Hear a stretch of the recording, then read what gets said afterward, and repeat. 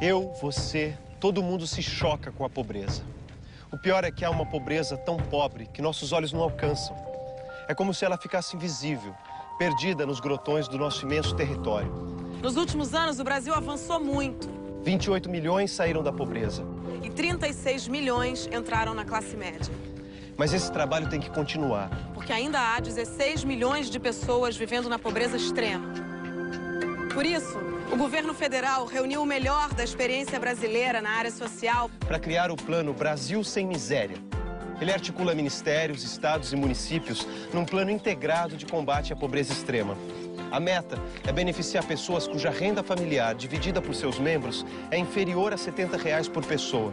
59% delas estão aqui, no Nordeste. 21% no Sul e Sudeste e 20% no Norte e Centro-Oeste. 40% tem menos de 14 anos. Quanto futuro o Brasil pode perder se não resolver isso rápido?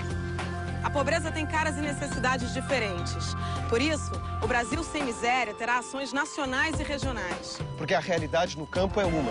E na cidade é outra.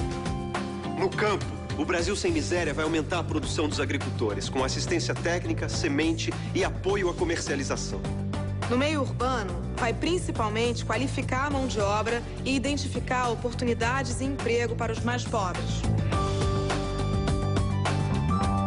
Já o Bolsa Família, o Brasil Alfabetizado e a Previdência Rural, entre outros programas universais, vão ser aperfeiçoados e ampliados em todo o país.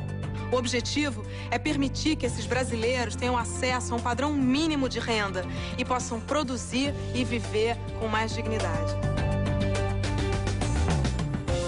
O Brasil Sem Miséria também vai garantir o acesso dessas pessoas a serviços básicos como água, luz, saúde, educação, segurança e moradia.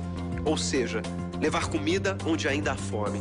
Água aonde há sede, saúde e, principalmente, levar Brasil aonde ainda exista um só brasileiro desamparado plano vai aproveitar toda a experiência adquirida nos últimos anos na execução de uma das mais vigorosas políticas sociais do mundo e vai romper barreiras sociais, políticas e culturais para chegar aonde a pobreza extrema estiver.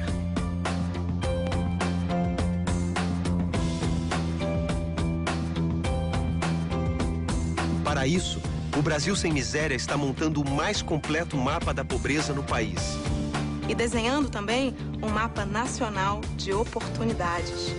Esses dois instrumentos vão permitir, por exemplo, identificar quem precisa e ainda não recebe o Bolsa Família. E ajudar quem já recebe a buscar outras formas de renda e melhorar suas condições de vida. Em suma, o Brasil Sem Miséria vai mobilizar toda a estrutura do governo federal e unir estados e municípios em torno do mais completo programa de combate à pobreza extrema que o país já viu. Trata-se de mais um passo na construção de um Brasil mais forte e mais justo. Um Brasil que já vive um processo de ascensão social sem precedentes. E com isso, não só diminuiu a desigualdade, como também ampliou seu mercado interno, fortaleceu sua economia e acelerou seu crescimento. Ou seja, o Brasil cresceu porque a pobreza diminuiu. Já pensou quando acabarmos de vez com a miséria? Brasil sem miséria. Dever do Estado. Tarefa de todos. Brasil. País rico é país sem pobreza.